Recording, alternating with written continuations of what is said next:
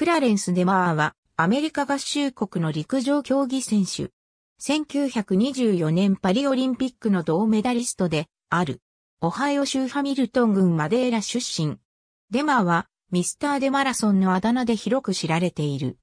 1910年、デマーの初マラソンとなったボストンマラソンで2位と好成績を残した。しかし、その後、医者から心雑音がするのでマラソンをやめるように言われる。それでも、デマーはマラソンに出場し続ける。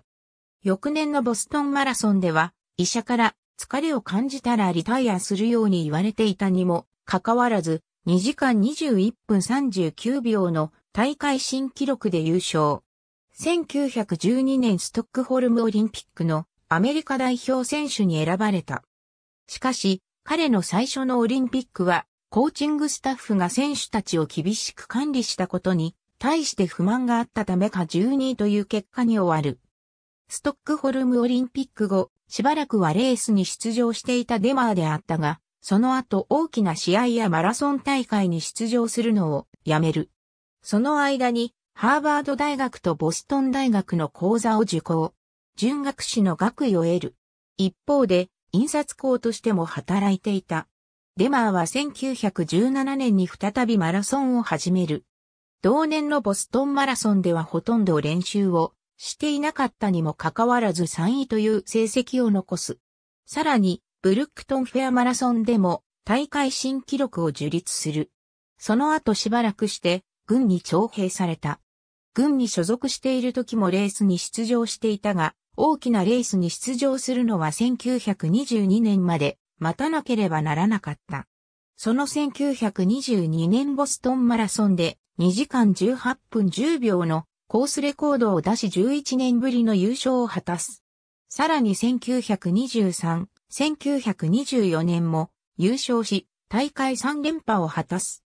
そして、デマはパリオリンピック代表選手に選ばれると3位となり、銅メダルを獲得した。デマはパリオリンピックの後、1925年のボストンマラソンで2位、1926年の同大会でも3位となる。その後、ボルチモアマラソン、セスキセンテニアルマラソン、ポートチェスターマラソン、ボルチモアマラソン、ボストンマラソンと1年間でマラソン5連勝を果たす。翌年の1928年ボストンマラソンも制し、1928年アムステルダムオリンピックに出場したが、悪天候に阻まれ27位と惨敗した。その後、1930年に41歳で通算7回目のボストンマラソン制覇を果たす。